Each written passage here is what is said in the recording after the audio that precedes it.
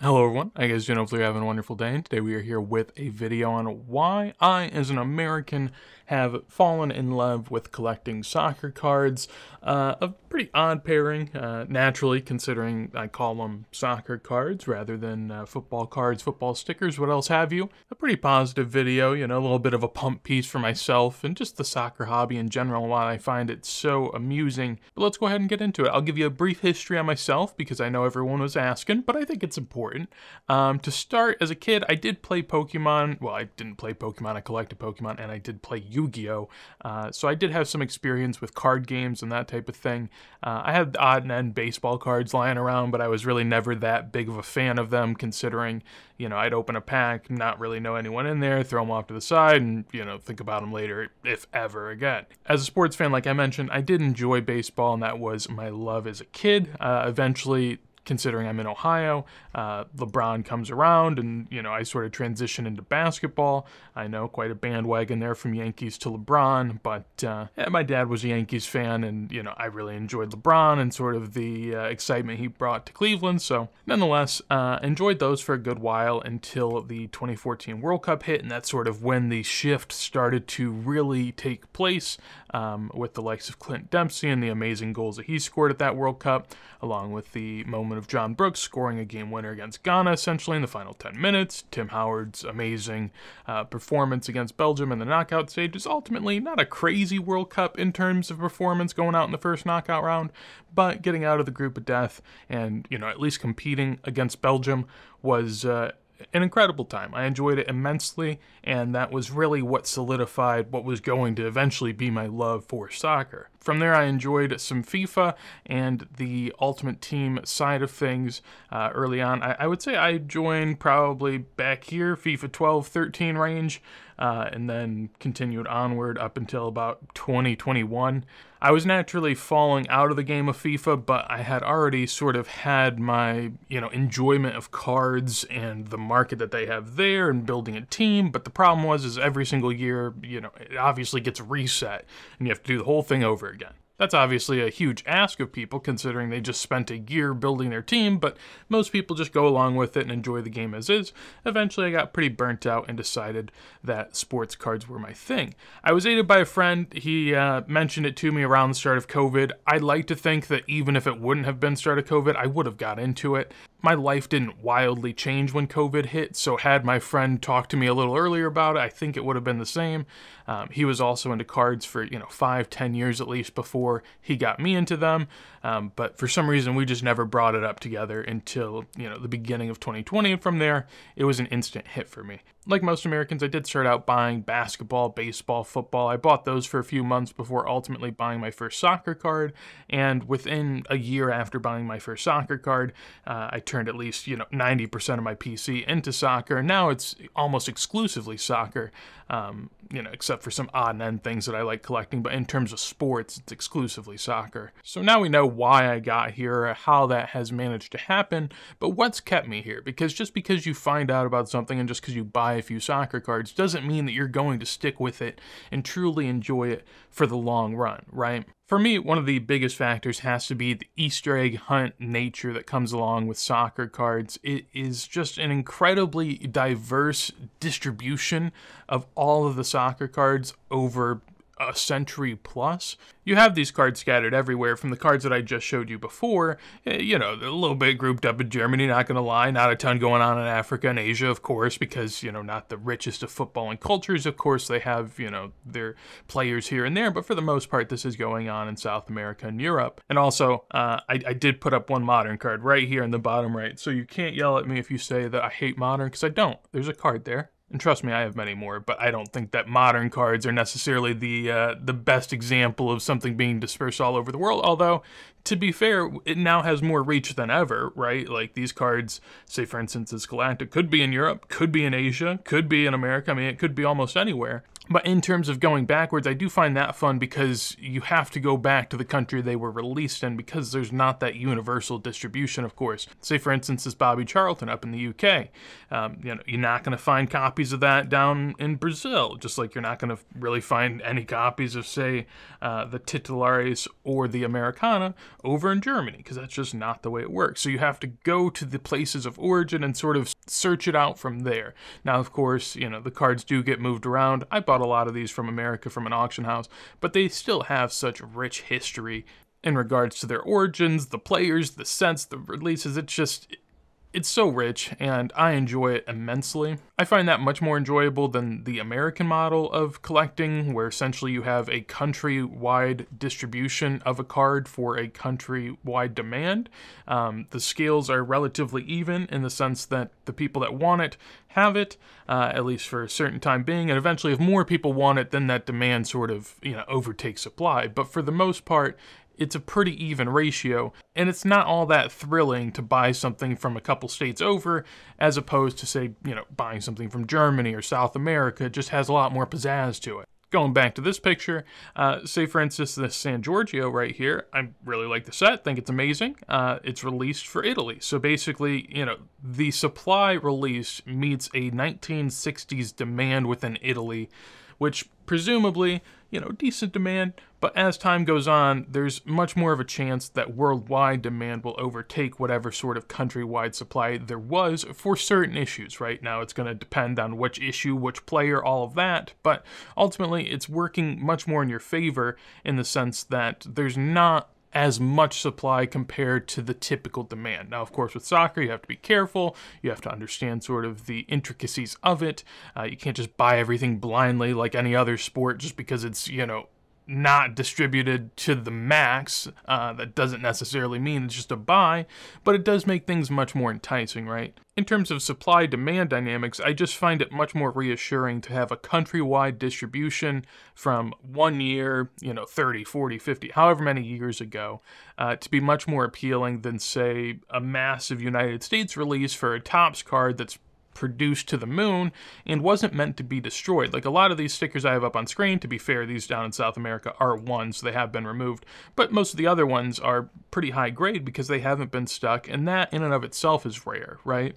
Um, most cards, well, stickers in particular, are meant for albums, so they're meant to be practically destroyed upon placement. And so to think that, you know, you're picking out a card from, say, one year, 60 years ago that wasn't destroyed and has made it through everything, it's incredibly slim odds. And for me, that's much more of a chase that's much more appealing to go after than, say, something that's a, a mass produced Topps card in America that I've seen time and time and time again. In conjunction with that, since these are scattered all over the world, I do find the thrill of the hunt to be much more enticing. Um, you have to really, you know, dig a lot deeper. Again, like I mentioned with American grails, quote unquote, most American grails in different sports are very attainable. It's more a question of do you have the financial backing to do so? Um, while in soccer, there are so many examples of items that you are going to have more trouble finding than trouble purchasing most soccer items are not tremendously pricey, right? The bigger issue, at least for certain ones, is going to be just finding it in the first place and having access to be able to purchase it. And to me, that's a much more exciting thing.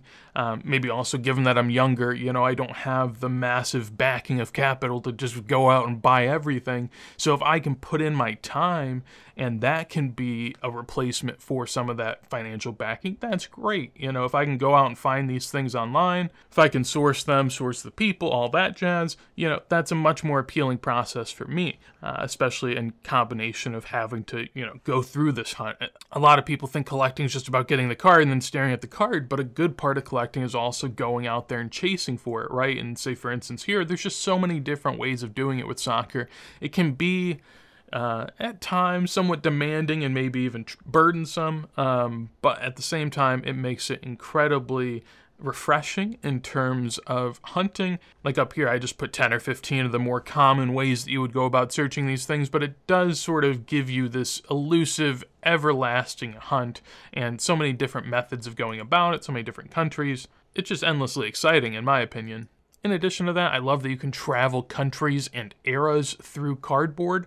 Um, some sports just don't have that sort of lineage, but soccer is far from it. It's deep roots across the globe, and they're all sort of doing their own thing considering there you know wasn't much crossover at the time. So say for instance we start off early days or I guess more modern days with say 2014 Prism set, um, you know pretty iconic set. Also one that sort of lays the groundwork for years to come.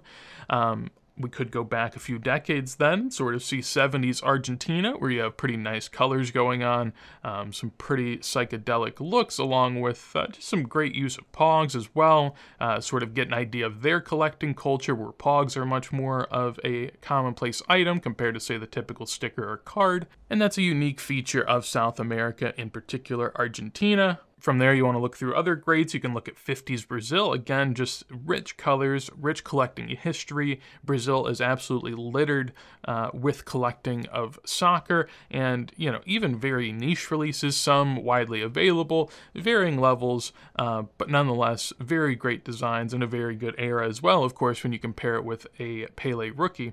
And then one of my favorites is 1920s Spain, where you have some of the best looking art style cards that I could actually pick out from all the soccer, in my opinion. From my point of view, it's almost unparalleled. I don't know if there's anything quite like it, um, but it really puts you in a time and a place, and you can tell, at least, you know, if you spend enough time in it, you can almost tell what country, what era you're in just by looking at the collectible in front of you. And to me, that's very exciting because you're almost traveling time and country just by going through these issues. And that is something that's very, very riveting as opposed to, say, maybe an American style where you're just looking at Topps card after Topps card after Topps card and not a whole lot's really changing. So for me, I find the sense of exploration in soccer cards to be unmatched in terms of American sports cards. I don't think that there's really uh, a candle to be held up against soccer at this point from that perspective. Taking the example of looking through eBay for Topps baseball cards, you know, they're just too similar. I love some continuity, don't get me wrong. I love a great legacy brand for a sport. I think it's very important. I think that's why, you know, baseball is what it is. I mean, Topps is synonymous with baseball, and that's huge for it. But at the same time, from a collecting perspective is someone that's looking back on this now 50 to 100 years ago and saying, what do I want to buy?